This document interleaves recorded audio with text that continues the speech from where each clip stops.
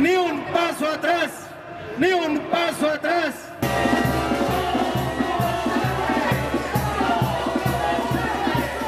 En esta hermosa plaza, compañeros de las ocho diferentes organizaciones que tiene nuestro sindicato. Un agradecimiento especial y un reconocimiento público a todos los padres y madres de familia